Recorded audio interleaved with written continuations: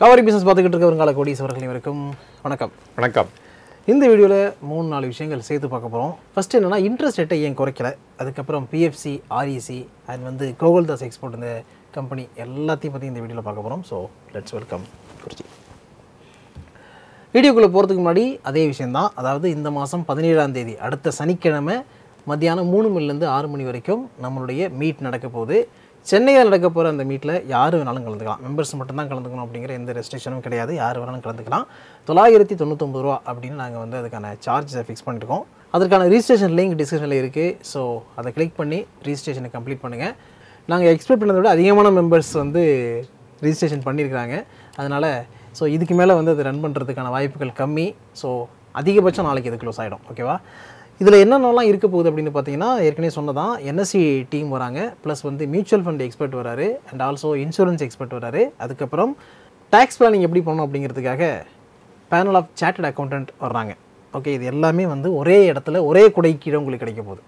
நிறைய பேர் இதை வந்து ஆன்லைனில் ஸ்ட்ரீம் பண்ண முடியுமான்னு கேட்குறீங்க. அதற்கான முயற்சிகள் நாங்கள் எடுத்துக்கிட்டு இருக்கோம். ஜூமில் வந்து பண்ணலாம் அப்படின்ட்டு. ஸோ அதுக்கும் வந்து பேமெண்ட் இருக்கும். நாளைக்கு என்ன ஏதுங்கிறத அந்த டீட்டெயில் நாங்கள் சொல்கிறோம் ஸோ இன்ட்ரெஸ்ட் ரேட் வந்து ஏற்றவும் இல்லை. குறைக்கவும் இல்லை. பட்டு குறைஞ்சா நல்லா இருக்கும் அப்படிங்கிறது தான் எல்லாருடைய ஃபீல் ஆயிருக்கு. ஏன் வந்து இப்படியே மெயின்டைன் பண்ணுறாங்க இந்த தடவை குறைச்சிருக்கலாமே அப்படின்னு நீங்கள் நினைக்கிறீங்களா? எனக்கு வந்து அது மாதிரி தான் தோணுது. இந்த தடவை ஒரு ஆப்பர்ச்சுனிட்டியை மிஸ் பண்ணிட்டாங்களோ அப்படின்னு எனக்கு தோணுது. சி பேங்க் ஆஃப் இங்கிலாந்து வந்து ரேட்டை இன்ட்ரெஸ்ட் ரேட்டை குறைச்சிட்டாங்க. ஸ்விஸ் கவர்மெண்ட் அவங்களும் வந்து இன்ட்ரெஸ்ட் ரேட்டை குறைச்சிருக்காங்க. கெனடியன் பாயிண்ட் டூ ஃபைவ் குறைச்சாங்க. ஈவன் யூரோப்பியன் ஆல்சோ அது மாதிரி பண்ண போகிறாங்க இப்போ ஷார்ட்லி தோ ஜப்பான் வந்து ரேட்டை இன்க்ரீஸ் பண்ணாங்க because inflation first time there is after seventeen years அங்கே வந்து தலை தூக்க ஆரம்பிச்சிருச்சு. அதனால் அவங்க வந்து இன்ட்ரெஸ்ட் ரேட்டை இன்க்ரீஸ் பண்ணாங்க. பட் அமெரிக்காவும் கிளியராக சொல்லிட்டாங்க. தட் இஸ் ஃபெட் ரிசர்வ் என்ன சொல்லியிருக்காங்க? செப்டம்பரில் மோஸ்ட் ப்ராப்ளம் இருக்கும் அப்படின்னு தான் இண்டிகேஷன் கொடுத்துருக்காங்க. அப்படி இருக்கிறப்ப ஏன் வந்து நம்ம வந்து இன்ட்ரெஸ்ட் ரேட்டை குறைக்கல? சரி இன்ட்ரெஸ்ட் ரேட்டு குறைச்சா நிறைய பேர் பெனிஃபிட் அடைவாங்க இன்க்ளூடிங் கவர்மெண்ட் ஆக்சுவலாக கவர்மெண்ட்டோட பாரோயிங்கும் இந்த வருஷம் வந்து நிலை ஃபோர்டீன் ஃபிஃப்டீன் லேக் க்ரோஸ் இருக்க போகுது. அவங்களுக்கு குறைச்சி இன்ட்ரெஸ்ட் ரேட்டில் தான் கிடைக்க போகுது அந்த ஃபண்டு அதே மாதிரி இஎம்ஐ பேமெண்ட் பண்ணுறாங்கல்ல அவங்களுக்கும் ஒரு குறைச்ச இன்ட்ரெஸ்ட் பே பண்ண வேண்டிய தருணம். இஃப் நாட் இமீடியட்டாக இல்லைன்னா கூட கொஞ்ச நாளில் கிடைக்கும் அவங்களுக்கும். ஏன்னா மோஸ்ட் ஆஃப் தம் வந்து ஃப்ளோட்டிங் ரேட்டில் தான் இன்ட்ரெஸ்ட் எல்லாம் வாங்குறாங்க. ஸோ அவங்களுக்கு ஒரு ரிலீஃப் கிடைக்கும். இது கூட ஒரு பட்ஜெட்டில் தான் நிறைய ரிலீஃப் கொடுக்கல. அட்லீஸ்ட் இந்த மாதிரி ரிலீஃபாக அதை கொடுத்துருக்கலாமே டேக்ஸ் பேயர்ஸ்க்கு இல்லாட்டா பாரோவர்ஸ்க்கு அதுதான் என்னுடைய கேள்வி. அவங்க என்ன சொல்கிறாங்க பேசிக்லி வென் ஃபுட் இன்ஃப்ளேஷன் ஜாஸ்தி இருக்கிறப்ப எப்படி வந்து குறைக்கிறது அப்படின்னு ஒரு கொஸ்டின் அவர் ரைஸ் பண்ணியிருக்காரு ஆர்பிஐ கவர்னர் பட் ஃபுட் இன்ஃப்ளேஷனுக்கும் ஆர்பிஐக்கு என்ன சம்மந்தம் ஓகே அதுதான் என்னோட கொஸ்டின் அது மோர் ஆஃப் அ ஃபிசி ஃபிஸ்கல் ஆக்டிவிட்டி அது கவர்மெண்ட் தான் இதுவும் பண்ண முடியும். அது சப்ளை அண்ட் டிமாண்டில் இருக்க மிஸ் மேட்ச் கவர்மெண்ட் என்ன பண்ணாங்க? சரி ஆயில் ப்ரைஸை ஏறாமல் பார்த்துக்கிட்டாங்க. இல்லாட்டா இன்ஃபேக்ட் குறைக்கவும் செஞ்சாங்க. அண்டு செகண்டு என்ன பண்ணாங்க? ஃப்ரீ அரிசி கோதுமை அது மாதிரிலாம் கொடுத்தாங்க மக்களுக்கு. இன்னும் எண்பது கோடி மக்கள் கொடுத்தாங்க. அப்படி இருந்தும் ஃபுட் இன்ஃப்ளேஷன் கண்ட்ரோல் பண்ண முடியலையே. ஓகே அது மான்சூன்னால ப்ராப்ளம் மெனி ஸ்டேட்டில் இருக்குது. அதனால அது அப்படியே கட்டுக்குள்ளே இல்லாமல் ஜாஸ்தியாக தான் இருக்குது அப்படி இருக்கும்போது எப்படி இன்ட்ரெஸ்ட் ரேட்டுக்கும் அதுக்கும் என்ன ரிலேஷன்ஷிப் தான் எனக்கு தெரியல நான். ஸோ ஒரு நல்ல மிஸ்டு ஆப்பர்ச்சுனிட்டி அப்படின்னு தான் சொல்லுவேன். ஆனால் இது எல்லாத்தையும் எங்கே போய் சேரும் அப்படின்னா அந்த பெனிஃபிட் எல்லாமே இந்த ஃபாரின் போர்ட்ஃபோலியோ இன்வெஸ்டர்ஸ் வந்து இந்தியாவுக்கு வராங்கல்ல அவங்களுக்கு தான் அது பெனிஃபிட்டாக போய் அமையும். பாருங்கள் இந்த இன்ட்ரெஸ்ட் ரேட்டு குறைக்கல இல்லாட்ட என்ன ஆக்ஷன் எடுக்கலங்கிறதுனாலயே நேற்று டென் இயர் கவர்மெண்ட் செக்யூரிட்டிஸ் வந்து ட்ராப் ஆகிருக்கு okay. Six point eight eight six point nine எயிட்லேருந்து அது ட்ராப் ஆயிடுச்சு. இட் மீன்ஸ் வாட் அந்த ஈல்டை பற்றி நான் சொல்கிறேன் இன்ட்ரெஸ்ட் ஈல்டை பற்றி அண்ட் அப்போ தர்ஃபார் ப்ரைஸ் இன்க்ரீஸ் ஆகிருக்கும் பாண்ட் ப்ரைஸஸ்லாம் ஓகே. அப்போ வந்து இது வரைக்கும் வந்தது வந்து ஒரு ஃபிஃப்டீன் சிக்ஸ்டீன் பில்லியன் டாலர்ஸ் எடுத்துகிட்டு வந்திருக்காங்க இந்த ஒன் இயராக பட் அவங்களுக்குலாம் ஒரு இன்க்ரிமெண்டல் பெனிஃபிட் கிடச்சிருக்கும் இதனால். ஸோ யாருக்கு பெனிஃபிட் அடைய போய் சேருது அப்படின்னு பார்த்தோன்னா ஃபாரின் போர்ட்ஃபோலியோ இன்வெஸ்டர்ஸுக்கு தான் போய் சேருது. அது இன்னும் டிலே பண்ணிட்டே போயிட்டு இருந்தாங்கன்னா தென் இன்னும் பெனிஃபிட் வந்து அவங்களுக்கு தான் போய் சேரும். இந்த பணம்லாம் எங்கேருந்து வருது அப்படின்னா at the cost of Indian taxpayers Indian borrowers தான் சொல்லணும் நம்ம. ஓகே ஸோ பேசிக்கலி கவர்மெண்ட்டாக இருக்கட்டும் இல்லாட்டா ஆர்பிஐயாக இருக்கட்டும் இந்த ஸ்டேட்டஸ் கோவை தான் விரும்புகிறாங்க இன்றைக்கி இருக்கிறது அப்படியே இது பண்ணுவானே? நம்ம தான் இந்தியா தான் நல்லா க்ரோ ஆகிட்டுருக்கு நம்ம வந்து இதை போய் அப்செட் பண்ணுவானே அப்படின்ட்டு. பட் ஆனால் லோவர் ரெப்போ ரேட்டு என்ன ஆகும்? ட்ரிகர் பண்ணும் அப்படின்னா இந்த borrowing பவர் காஸ்ட்டும் குறையும். இண்டிவிஜுவலுக்கும் அது பெனிஃபிட் ஆகும். ப்ரைவேட் செக்டர் கம்பெனிஸுக்கும் அது பெனிஃபிட் ஆகும். அவங்களுக்கு ஒரு இன்சென்டிவ் இது வரைக்கும் நான் அவங்க வந்து borrow பண்ணாமல் இருக்காங்க. இந்த காஸ்ட் குறையுதுன்னா தென் அவங்க கூட இன்வெஸ்ட் பண்ண ரெடியாக ஆகுவாங்க ஆக்சுவலாக ஸோ மினி மிஸ்ட் ஆப்பர்ச்சுனிட்டி அப்படின்னு தான் நான் சொல்லுவேன் நான். ஸோ நம்ம வந்து எப்பொழுதுமே இப்போ ரீசெண்ட் டைமில் என்ன சொல்லிட்டு இருக்கணும் ஒரு டெவலப்டு நேஷன் ஆகணும் அப்படின்ட்டு. டெவலப்டு நேஷன் ஆகணும்னா the இன்ட்ரெஸ்ட் காஸ்ட் வந்து ஷுட் பி ரீசனபிளாக இருக்கணும். It cannot be at six point five பர்சன்ட்லாம் இருந்தோம்னா you cannot be a developed nation at all. It should be about one percent one and half percent அந்த மாதிரி தான் இருக்கணும். அப்போ தான் you can borrow a large quantity of இது கடன் வாங்கி ப்ராஜெக்டை இம்ப்ளிமெண்ட் பண்ண முடியும். இப்போ ஆர்பிசிலேருந்து என்ன சொல்கிறாங்கன்னு பார்த்தீங்கன்னா ரியல் இன்ட்ரெஸ்ட் ரேட் அப்படிங்கிறது எவ்வளோ இருக்குது ஒன் பாயிண்ட் செவன் தான் இருக்குது அப்படின்றாங்க. ஏன்னா ரெப்போ ரேட் வந்து சிக்ஸ் பாயிண்ட் ஃபைவ் இருக்குது இன்ஃப்ளேஷன் ஃபோர் பாயிண்ட் எயிட்டாக இருக்குது ஸோ அதுலேருந்து இது மைனஸ் பண்ணும்பொழுது ஒன் பாயிண்ட் செவன் தானே அப்படிங்கிற கொஸ்டின் சரி இதை நான் எப்படி கவுண்டர் பண்ணுவேன்னா சரி சிக்ஸ் பாயிண்ட் ஃபைவ் பர்சன்ட்டுக்கு நீங்கள் லோன் வாங்கிடுவீங்களா? ஏதாவது பேங்க் இருந்தால் சொல்லுங்கள் நான் போய் நான் கூட interested okay minimum entry level எவ்வளோதுமா இந்த பெஸ்ட் கார்பரேட்டுக்கு பெஸ்ட் கார்பரேட்டுக்கு ஒம்பது பர்சன்ட் ஓகே அவங்களாம் பரவ பண்ணவே மாட்டாங்க. ஸோ ஹவுசிங் லோன் இருந்ததுன்னா நீங்கள் about ten percent ten point five percent நீங்கள் மைக்ரோ ஃபைனான்ஸ் லெண்டிங்லாம் எடுத்திங்கன்னா இருபத்தி ரெண்டு பர்சன்ட் ஆமாம் அண்ட் பர்சனல் லோன் எடுத்திங்கன்னா seventeen eighteen percent car loan வாங்கினா eleven eleven and half percent secured asset housing லோனுனா ten point ten ten point five ஆகிடும் so and credit rating அது மாதிரி ஆய- ஆயிரத்தெட்டு இது இருக்குது சரி அதனால் என்றைக்குமே சிக்ஸ் பாயிண்ட் ஃபைவ்லாம் நீங்கள் வாங்கவே முடியாது. ஓகே ஆக்சுவலாக so such a high rate of interest இருக்கிறனால தான் நம்ம பேசுகிறோம் இந்த ரெப்போ ரேட்டை குறைக்கிறனால அதுதான் பெஞ்ச் மார்க்காக இருக்கு. அப்போ மித்த ரேட்டும் குறைய ஆரம்பிக்குமே அப்படின்ட்டு. ஏன்னா இன்ஃப்ளேஷனாலே சிவியராக அஃபெக்ட் ஆகிட்டு இருக்காங்க மக்கள். அதே வந்து அஃபிஷியல் ரேட் ஆஃப் இன்ட்ர இன்ஃப்ளேஷனோட ரியல் வந்து ரொம்ப ஜாஸ்தியாக தான் இருக்குது அண்டு அந்த இன்ஃப்ளேஷன் கூட பிளேஸ் டு பிளேஸ் மாறிட்டே இருக்கும்.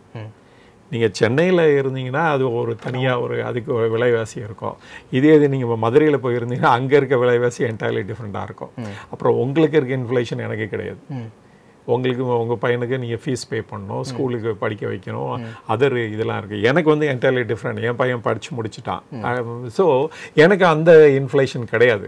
இன்னைக்கு வந்து எஜுகேஷன் இன்ஃப்ளேஷன் பார்த்தீங்கன்னா ஆச்சரியப்படுவீங்க என்ட்ரி லெவலுக்கு இன்ஜினியரிங் எல்லாம் நாலு லட்ச ரூபா கட்டணுமா? ஓகே ஸோ அதனால் வந்து இன்ஃப்ளேஷன் வந்து பர்சனுக்கு பர்சன் மாறுபட்டுட்டே போயிட்டே இருக்கும். ஸோ அதனால் இந்த ரெப்போ ரேட்டுக்கு இன்ட்ரெஸ்ட் தகுந்தாப்புல யாரும் பாரவும் பண்ண முடியாது. அதனால் அதை ஜஸ்டிஃபை வச்சு பண்ணவே முடியாது நம்ம. ஓகே இதில் இன்னொரு விஷயம் இருக்குது சார். இப்போ பாரோயிங் காஸ்ட் கையாக இருக்கும்பொழுது அது இந்த ஜென்ரேஷனை மட்டும் அஃபெக்ட் பண்ணாது ஃபியூச்சர் ஜென்ரேஷன் கரெக்ட் அது பத்து வருஷம் பாண்டாக இருக்கலாம் இருபது வருஷம் பாண்டாக இருக்கலாம். ஸோ கண்டினியூஸாக பத்து பர்சன்ட் இருபது இருபது பர்சன்ட் வந்து கொடுத்துட்டே இருக்கணும். ஃபியூச்சர் ஜென்ரேஷனும் கொடுத்துட்டே இருக்கணும். ஃபியூச்சர் டேக்ஸ் பேயர்ஸும் அதுக்காக பேமெண்ட் பண்ணிகிட்டே இருக்கணும். இப்போ அமெரிக்காவில் பாருங்கள் டூ தௌசண்ட் எயிட்லேருந்து டூ தௌசண்ட் சிக்ஸ்டீன் வரைக்கும் ஆல்மோஸ்ட் ஜீரோ பர்சன்ட் தான் இருந்தது. பாயிண்ட் ஒன் பர்சன்ட் தான் ட்ரெஷரி பில்லுக்கு இது இன்ட்ரெஸ்ட்டு ஆனால் அது வந்து இப்போ வந்து ரெடீம் பண்ண வந்திருக்கோம் அதெல்லாம். ஆனால் ரெடீம் பண்ணும்போது என்ன ரேட்டில் பண்ணுவாங்க அப்படின்னா ஹை ரேட் ஆஃப் இன்ட்ரெஸ்ட்டில் பண்ணுவாங்க. எட் என்ன ஃபைவ் பாயிண்ட் ஃபைவ் அந்த பர்சனில் தான் நம்ம ரெடீம் பண்ணி ஆகணும். ஏன்னா நீங்கள் பாரோ பண்ணி தான் நீங்கள் இன்ட்ரெஸ்ட்டே கட்டுறீங்க. இல்லாட்டா ரெடிமே பண்ணுறீங்க அதே தான் இந்தியாவுக்கும் பொருந்தும். நம்ம பாரோ பண்ணி தான் நம்ம ஓல்டு இதெல்லாம் வந்து ரெடீம் பண்ணிகிட்ருப்போம் நம்ம. ஸோ அதனால் see this is a bad thing இன்றைக்கி மட்டும் இந்த ஜென்ரேஷனுக்கு மட்டும் இல்லை ஃப்யூச்சர் ஜென்ரேஷனுக்கு அது பேடு அதனால் குயிக்கஸ்ட்டு பாசிபிள் டைமில் வந்து நம்ம லோவஸ்ட்டு இன்ட்ரெஸ்ட் ரேட்டுக்கு போனால் தான் நம்ம பாரோயிங் வந்து நிறைய இருக்கும் க்ரோத்தும் பெட்டராக இருக்கும். அது வந்து கவர்மெண்ட்டும் ஒரு பெரிய பெனிஃபிஷரி ஏன்னா ஒரு கண்ட்ரியில் வந்து பிக்கஸ்ட் பாரோவர் யாருன்னா கவர்மெண்ட்டு தான். அது எனி கண்ட்ரியாக இருக்கட்டும். அதனால பிக்கஸ்ட் பெனிஃபிட் வந்து அவங்களுக்கு தான் போய் சேரும் ஆக்சுவலாக ஓகே அடுத்து நம்ம அப்படியே கோகுல்தாஸ் எக்ஸ்போர்ட் பார்க்கலாம் சார் இப்போ ஆக்சுவலாக இந்த கம்பெனிக்கு வந்து ஒரு குளோபல் ஃபேக்டர்னால பெனிஃபிட் இருக்குது அப்படின்னு எடுத்துக்கலாமா? இந்த பங்களாதேஷில் பிரச்சனை இருக்குல்ல அதனால. கரெக்ட் அதை வந்து பார்க்கணும் அவங்க ரிசல்ட்ஸ் வந்தோன்னு தான் தெரியும் எந்த லெவலுக்கு பட் ஆனால் பங்களாதேஷில் மோஸ்ட் இம்பார்ட்டன்ட் ஐட்டம் எக்ஸ்போர்ட் பார்த்தீங்கன்னா டெக்ஸ்டைல்ஸ் தான். ஓகே ஏன் அப்படின்னா அவங்க வந்து லீஸ்ட் டெவலப்டு கண்ட்ரியாக ரெகக்னைஸ் பண்ணியிருக்காங்க. எங்கே அப்படின்னா UK UK and Europe entire யூரோப்பும் அவங்களுக்கு லீஸ்ட் டெவலப்டு கண்ட்ரியாக கொடுத்தனால அங்கே வந்து almost zero percent of duty அவங்களுக்கு. ஆனால் நமக்கு வந்து பன்னெண்டு பர்சன்ட் யூகேயாக இருக்கட்டும் யூரோப்பாக இருக்கட்டும் நம்ம வந்து பன்னெண்டு பர்சன்ட் பே பண்ணுறோம் பட் அமெரிக்காவில் வந்து எல்லாம் ஒன் அண்ட் சேம் தான். பங்களாதேஷாக இருக்கட்டும் இந்தியா இருக்கட்டும் அதே ரேட் ஆஃப் டியூட்டி தான் டுவெல் பர்சன்ட் அதனால் வந்து கண்ட்ரி டு கண்ட்ரி மாறிட்டே இருக்கும் அவங்களுடைய ஸ்டேட்டஸ் பொறுத்த வரைக்கும். நம்ம சைனா எல்லாமே ஒரே ஸ்டேட்டஸில் தான் இருக்கோம் அந்த டியூட்டி இதில். ஸோ இப்போ பங்களாதேஷில் இஷ்யூ வந்ததுனால தெர் இஸ் அ ஃபியரு அங்கேருந்து எதுவும் வராது அப்படின்ட்டு. பட் ஆனால் குவிக்கஸ்ட் பாசிபிள் அதை ரெஸ்டோர் பண்ணிட்டாங்க அங்கே. ஸோ இன் அனதர் ஃபியூ டேஸில் இட் பி நார்மலைஸ்டுன்னு நினைக்கிறேன். அப்படி இருந்தனால ஒரு பெரிய பெனிஃபிட் இந்த கம்பெனிக்கு வரும் வரும்னு நம்ம சொல்லிட முடியாது ஈஸியாக அஃப்கோர்ஸ் இவங்க வந்து அதர் ஆக்டிவிட்டீஸே இவங்களுக்கு நிறைய பெனிஃபிட் கொடுக்கும். லைக் வந்து இப்போ பார்த்தீங்கன்னா two years back United Arab எமிரேட்ஸில் based இந்த கம்பெனி அல்ட்ராக்கோ அப்படிங்கிற ஒரு கம்பெனி அவங்க வாங்கினாங்க.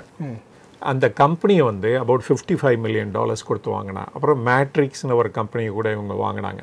இந்த அல்ட்ராக்கோ எடுத்துட்டீங்க அப்படின்னா Ethiopia Kenya United Arab Emirates இங்கெல்லாம் வந்து மேனுஃபேக்சரிங் சென்டர்ஸ் வச்சுருக்காங்க. அங்கேருந்து எங்கே எக்ஸ்போர்ட் பண்ணுறாங்கன்னா யூகே அண்ட் யூரோப்பியன் யூனியன் ஏன்னா எஸ்பெஷலி இந்த எத்தோப்பியா அண்ட் கீனியாலாம் கம்மிங் அண்டர் அந்த அந்த category there is a least developed countries கேட்டகரியில் அப்புறமேல அங்கே ஒரு இன்னொரு பெனிஃபிட் இருக்குது அதுதான் த காஸ்ட் ஆஃப் மேனுஃபேக்சரிங் அங்கே லேபருக்கு வந்து மச் லோவர் தான் கொடுப்பீங்க. ஸோ அதனால ஒரு பெரிய பெனிஃபிட் கிடச்சிட்டு இருந்தது. அது வந்து ஆல்ரெடி அவங்களோட புக்ஸில் ரிஃப்ளெக்ட் ப பண்ண ஆரம்பிச்சிருச்சு வேற. இப்போ லாஸ்ட் குவார்ட்டர் ரிசல்ட்ஸ்லையும் சரி இந்த குவார்ட்டர் ரிசல்ட்ஸ்லையும் ஏற்கனவே அதை ஃபேக்டர் பண்ணி இது பண்ணிட்டாங்க. ஆனால் பங்களாதேஷோட ஸ்பில் ஓவர் இருக்குமா இல்லையாங்கிறத நம்ம நெக்ஸ்ட் குவார்ட்டரில் தான் தெரியும் அதை பற்றி பட் என்னை பொறுத்த வரைக்கும் அது பெரிய லெவலில் இம்பாக்ட் இருக்காது அப்படின்னு தான் நான் ஃபீல் பண்ணுறேன் வித் தட் அவங்களுடைய ரிசல்ட்ஸ் பார்க்கலாம். ஓகே கோகுல்தாஸ் எக்ஸ்போர்ட்டுடைய கியூ ஒன் ரிசல்ட் பார்த்தோம்னா டோட்டல் இன்கம் வந்து தொள்ளாயிரத்தி முப்பத்தி ஒம்பது புள்ளி ஏழு கோடியாக இருக்குது seventy nine percentage year on year growth இருக்குது ஆல்மோஸ்ட் எயிட்டி பர்சன்டேஜ் க்ரோத் இருக்குது சீக்வன்ஷலாக fourteen point nine percentage grow ஆயிருக்கு. அதான் அது பிகாஸ் அதான் அந்த acquisition பெனிஃபிட்னால adjusted EBITDA ninety six point six crore EBITDA margin ten point three பர்சன்டேஜாக இருக்குது இந்த இதில் பார்க்கணும். இந்த அட்ஜஸ்டட் இபிட்டான்னு சொல்கிறாங்க நம்ம ஏற்கனவே எக்ஸ்பிளைன் பண்ணியிருக்கோம் அதை பற்றி என்ன அப்படின்னா இந்த அட்ஜஸ்டட் ரிப்பீட் இபிட்டா இல்லாட்டா ரிப்போர்ட்டட் எபிட்டா அதெல்லாம் சொல்லுவாங்க. ரிப்போர்ட்டட்னா எல்லா எக்ஸ்பெண்டிச்சரும் ஒன் டைம் எக்ஸ்பெண்டிச்சரை கூட அவங்க கன்சிடர் பண்ணி அப்புறம் அரைவ் பண்ணுற இதுதான் அந்த ஃபிகரு பட் அட்ஜஸ்டடுங்கிறது என்னென்னா இந்த ஒன் டைம் பண்ணுறாங்க பாருங்க எக்ஸ்பெண்டிச்சரோ இன்கம் அதை கன்சிடர் பண்ண மாட்டாங்க நார்மலி ஸோ அதனால் அப்படி ரிப்போர்ட் பண்ணுறது தான் அந்த இது. ப்ராஃபிட் வந்து இருபத்தி ஏழு புள்ளி ரெண்டு கோடியாக இருக்குது ஆக்சுவலாக sixteen point five percentage year on year dip ஆயிருக்கு. ரைட் சீக்வென்ஷலாக தேர்ட்டி எயிட் பர்சன்டேஜ் டிப் ஆயிருக்கு. ரைட் அதாவது அது அக்யூசேஷனால் பெனிஃபிட் வரும்னு எதிர்பார்த்தாங்க. பட் ஆனால் அந்த பெனிஃபிட் வரல அப்படின்னு தான் இந்த ரிசல்ட்ஸ் காமிக்குது. ஓகே அக்யூசிஷனுக்கு அப்புறமும் வந்து மார்ஜின் ஏறலை. குறைஞ்சிட்டு தான் தான் இருக்குது ஆமாம் ஸோ அக்யூசிஷன் என்டிடி மூலமாக வந்ததுன்னு பார்த்தீங்கன்னா முந்நூற்றி ஐம்பத்தி ஒம்பது புள்ளி ஒரு கோடி வந்திருக்கு. ரைட் ஸோ அதோட எபிட்டா வந்து டுவெண்ட்டி சிக்ஸ் பாயிண்ட் நைனாக இருக்குது right adjusted EBITDA margin nine point nine அவங்க கொடுத்துருக்காது ரைட் சரி இதில் முக்கியமாக நம்ம பார்க்க வேண்டியது என்ன அப்படின்னா ப்ரொமோட்டர்ஸ் வந்து நிறைய ஷேர் விற்றுருக்காங்க அது வந்து லாஸ்ட் இயரே நடந்துருச்சு அது. Nearly about ten percent of the shares இப்போ வந்து டென் பர்சன்ட் தான் ஹோல்ட் பண்ணிட்டு இருக்காங்க டுவெண்ட்டி பர்சன்ட் இருந்தது அப்புறம் இப்போ டென் பர்சன்ட் தான் ஹோல்ட் பண்ணுறாங்க இப்போ வந்து இது மோர ப்ரொஃபஷனலி மேனேஜ்ட் கம்பெனியாக மாறிட்டு இருக்கு ஓகே சிவராமகிருஷ்ணன் கணபதிங்கிறவர் தான் இப்போ எம்டி வைஸ் சேர்மனாக இருக்கிறாரு. அஃப்கோர்ஸ் அவருக்கு வந்து நிறைய வேஸ்ட் எக்ஸ்பீரியன்ஸ் இருக்குது அவர் தான் இந்த மாதிரி அக்யூசேஷனு எல்லாமே இருக்காரு பட் ஆனால் எஃப்ஐஐஸும் டிஏஐஸும் அவங்களுடைய ஸ்டேக்கை இன்க்ரீஸ் பண்ணிட்டு இருக்காங்க. ப்ரொமோட்டர்ஸ் வித்தம்போது கூட வாங்கினது எல்லாமே டொமஸ்டிக் இன்ஸ்டிடியூஷனல் இன்வெஸ்டர்ஸ் தான் நிறைய இதில் ஸ்டேக் எடுத்திருக்காங்க. So so as as far as the company is concerned இந்த ப்ரொமோட்டர்ஸ் விற்கிறதுனால எந்த வித எஃபெக்ட்டும் வரல. இன்ஃபேக்ட் இது பெட்டராக மேனேஜ் ஆகுதுன்னு தான் நம்ம சொல்லணும். ஓகே அடுத்து திருப்பி நம்ம பவர் செக்டருக்கு வரும். பிஎஃப்சி கம்பெனி பற்றி பார்க்க போகிறோம் ஸோ பிஎஃப்சி கம்பெனியுடைய நெட் இன்ட்ரெஸ்ட் இன்கம் வந்து ஒன்பதாயிரத்தி தொள்ளாயிரத்தி எண்பத்தி நாலு கோடி. Net interest margin three point five ஃபைவாக இருக்குது நெட் ப்ராஃபிட் ஐயாயிரத்தி நூற்றி பதினாலு கோடின்னு கொடுத்துருக்காங்க. Profit margin fifty one point two two percentage இருக்குது gross NPA three point three eight net NPA point eight seven CRAR வந்து twenty seven point one right advances நாலு லட்சத்தி எழுபத்தஞ்சாயிரத்தி நாலு கோடி. ROA two point seven four book value முந்நூற்றி அறுபா அந்த ரேஞ்சில் இருக்குது ப்ரைஸ் டு புக் வந்து ஒன் பாயிண்ட் சிக்ஸ் ஃபைவாக இருக்குது ரைட் சரி இந்த சிஆர்ஆர் சொன்னீங்க இப்போ சிஆர்ஏஆர் சொன்னீங்க. டுவெண்ட்டி செவன் இருக்கு. டுவெண்ட்டி செவன் ஸோ இதுலேருந்து என்ன கன்க்ளூஷன் சொல்லுவீங்க? அவங்க கொடுக்குறது ஃபுல்லாக கவர்மெண்ட்டு இந்த ப்ராஜெக்ட் தானே கொடுக்குறாங்க. அப்புறம் என்ன பிரச்சனை வருது? கரெக்ட் எக்ஸாக்ட்லி அதான் நெத்தி அடிங்கிறது. அதாவது eighty one percent of the loan வந்து இவங்க கவர்மெண்ட் தான் கொடுக்குறாங்க. செக்யூர்ட் அசெட்டாக இருக்கு. நீங்கள் ப்ரொவிஷன்ஸ் பெரிய லெவலில் கேபிட்டல் இதுக்கு கிடையாது. கவர்மெண்ட்டுக்கு லென் பண்ணாலே உங்களுக்கு வந்து செக்யூரிட்டி பற்றி ப்ராப்ளமே இல்லை. Okay. And PFC and REC ரெண்டு கம்பெனியும் ஏன்னா ஆர்இசி வந்து இதோட சப்சிடரி இது. அண்டு இந்த பிஎஃப்சி வந்து இல்லைன்னு வச்சுக்கோங்களேன். இந்த ரெண்டு கம்பெனி இல்லை. அப்படின்னா இன்ஃப்ராஸ்ட்ரக்சர் கம்பெனிஸ்க்கு ஃபண்டிங்காக கிடைக்காம போயிருக்கும். ஓகே. ஏன்னா எல்லா பேங்க்ஸும் வந்து ரிலக்டன்ட்டு ஏன்னா அவங்களோட பேட் எக்ஸ்பீரியன்ஸ்னால இப்போ யாருமே லென் பண்ணுறதில்ல அண்ட் மொரோவர் இப்போ வந்து பவர் செக்டருக்கு ஒரு க்ரோத் வந்திருக்கு திருப்பியும் ஒரு ஃபேஸில் இப்போ அந்த இப்போ டிஎன்இபி மாதிரி இருக்கிற கம்பெனிஸ் வந்து நிறைய கடன் இருந்துச்சு அவங்களுக்கு. யாருக்கு அப்படின்னு பார்த்தீங்கன்னா அவங்களுக்கு யார் யார் பவர் சப்ளை பண்ணாங்களோ அவங்களுக்கு பேமெண்ட்டே பண்ணுறதில்ல ரெகுலராக தெரேஸ் ஆறு மாதம் ஒரு வருஷம் ரெண்டு வருஷம்லாம் பாக்கி இருந்தது. ஸோ அதெல்லாம் கிளியர் பண்ணுறதுக்கும் இந்த மாதிரி ஆர்இசி அண்டு பிஎஃப்சி அவங்க லோன் கொடுத்து இந்த ப்ராப்ளத்துலேருந்து மீண்டு வர்றதுக்கு ஹெல்ப் பண்ணியிருக்காங்க அப்படின்னு சொல்லணும். Okay. அண்டு ஸோ இந்த ரெண்டு கம்பெனி இல்லை அப்படின்னா இந்த இந்த டான்ஜெட்கோ மாதிரி கம்பெனிஸ்லாம் இன்னும் அதே பொசிஷன் ஆஃப் டெட்ஸில் தான் இருந்திருப்பாங்க. ஓகே சரி ஸோ இந்த கம்பெனியுடைய குட் பேட் அக்லி நம்ம பார்க்கலாம். குட்டுன்னு என்ன தான் சொல்லுவீங்க? மோஸ்ட்லி இதுக்கு நெகட்டிவ் இருக்காது. Growth ஃபேஸில் தான் இருக்குது இன்ஃப்ராஸ்ட்ரக்சர் ஃபண்டிங் பண்ணதுக்கு இந்த ரெண்டு கம்பெனி தான் மெயினாக ஃபோக்கஸ் பண்ணிட்டு இருக்காங்க. இன்ஃப்ராஸ்ட்ரக்சர் அப்படின்னா எல்லா ஏரியாவிலும் பண்ணுறாங்க போர்ட்லேருந்து மெட்ரோலேருந்து பவர் பிளான்லேருந்து டிஸ்ட்ரிபியூஷன்லேருந்து டிரான்ஸ்மிஷன் கம்பெனிஸ்லேருந்து அத்தனைக்கும் இவங்க ஃபண்டிங் பண்ணுறாங்க அண்டு இதில் வந்து எல்லா செக்ஷ செக்ஷன்லையும் க்ரோ ஆகிட்டே தான் இருக்காங்க. அண்டு வந்து இவங்களோட நெட் இன்ட்ரெஸ்ட் மார்ஜினாக இருக்கட்டும் நெட் ப்ராஃபிட்டாக இருக்கட்டும் இல்லாட்டா அது லோன் போர்ட்ஃபோலியோ இருக்கட்டும் எல்லா இதுலேயும் பார்த்தா நல்ல க்ரோத் இருந்துக்கிட்டே இருக்குது அண்டு அந்த பர்ஃபார்மன்ஸ் சைட்லேயும் பார்த்தீங்கன்னா கவர்மெண்ட் மட்டும் இல்லை இப்போ ப்ரைவேட் என்டிட்டிஸ்க்கும் நிறைய பேர் லேர்ன் பண்ணிட்டு இருக்காங்க. அந்த போர்ட்ஃபோலியோ க்ரோ ஆகிட்டு இருக்கு. Now it's about nineteen percent அவங்க அவங்க டோட்டல் அட்வான்சஸ்லாம் இருக்குது ஓகே இது நெகட்டிவ்னு பார்த்தீங்கன்னா பிஎஃப்சி எடுத்துக்கிட்டிங்கன்னா இப்போ த்ரீ பாயிண்ட் சிக்ஸ் இருக்குது அவங்களோட ஜிஎன்பிஏ பட் ஆனால் இவங்களுக்கு வந்து ரீசனபிளாக இருக்குது ஆர்இசிக்கு ரீசனபிளாக இருக்குது அண்ட் புக் வேல்யூ கூட பார்த்தீங்கன்னா இட் இஸ் பிஎஃப்சிக்கு பார்த்தீங்கன்னா about த்ரீ நாட் சிக்ஸும் அண்டு இவங்களுக்கு வந்து டூ செவன்ட்டி செவன் இருக்குது அதனால் ரீசனபிள் பிஎஃப்சி ப்ரைஸ்டு புக்கு தான் இருக்குது ரெண்டு கம்பெனிக்கும் அப்படின்னு நான் சொல்லணும் நம்ம. ஏன்னா என் இது வந்து ஒரு என்பிஎஃப்சி அண்டு என்பிஎஃப்சின்னு சொல்லும்போது இதோட நாம் வந்து டிஃப்ரெண்ட்டாக இருக்கும். கம்பேர்ட் டு பேங்க் சரி உங்களுக்கு ஒரு கொஸ்டின் ஓகே என்பிஎஃப்சிக்கும் பேங்க்குக்கும் உள்ள மேஜர் டிஃப்ரென்ஸ் என்ன? ஒரு ஒன்று சொன்னால் போதும். எஸ்எல்ஆர் சரி. அவங்களுக்கு இருக்கு இவங்களுக்கு இல்லை. யாருக்கு இருக்கு யாருக்கு இல்லை? அதாவது பேங்குக்கு இருக்கு என்டிஎஃப்சிக்கு இல்லை. அந்த எஸ்எல்ஆர் அண்ட் சிஆர்ஆர் வந்து இவங்களுக்கு கிடையாது என்பிஎஃப்சிக்கு அதனால் அவங்க ரைஸ் பண்ணுற அத்தனை இதுவும் அப்படியே லேர்ன் பண்ணலாம் ஃபுல்லாக சரி ஒன்று ஒன்று பேங்க் பண்ண முடிஞ்சது இவங்களால ஒன்றும் பண்ண முடியாது. அது என்ன? மேஜராக பார்த்தீங்கன்னா டெபாசிட் டெபாசிட் தான் கரெக்ட் இதெல்லாம் நான் பேங்கிங் நான் டெபாசிட் டேக்கிங் என்பிஎஃப்சி ஓகே. அப்படி நம்ம ஆர்இசியுடைய ரிசல்ட்டையும் பார்த்துடலாம். நெட் இன்ட்ரெஸ்ட் இன்கம் வந்து நாலாயிரத்தி நானூற்றி எழுபத்தி நாலு கோடி.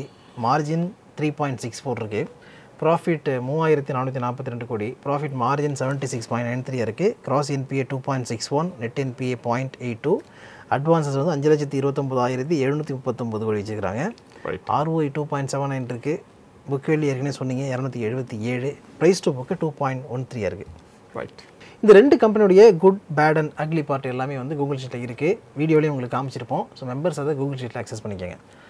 இதோட வீடியோ நாங்கள் வைண்ட் பண்ணிக்கிறோம் இதில் சொன்னது எல்லாமே எஜுகேஷனல் பர்பஸ்க்காகவும் இன்ஃபர்மேட்டிவ் பர்பஸ்க்காக மட்டும் தான் சஜஷனோ அட்வைஸோ கொடுக்குறதாங்க இல்லை. அதனால் மென்ஷன் பண்ண ஸ்டாக்ஸை வாங்கணும்னு நினச்சிங்கன்னா நல்லா தெரிஞ்ச செபி ரெஜிஸ்டர்ட் அட்வைசரை கேட்டுக்கிட்டு டிசைட் பண்ணுங்கள் அடுத்து ஒரு நல்ல வீடியோ மீட் பண்ணுவோம். வரைக்கும் உங்கள் நீங்கள் பத்திரமா பார்த்துங்க. நல்லபடியாக இன்வெஸ்ட் பண்ணுங்கள் தேங்க்யூ ஸோ மச் தேங்க்யூ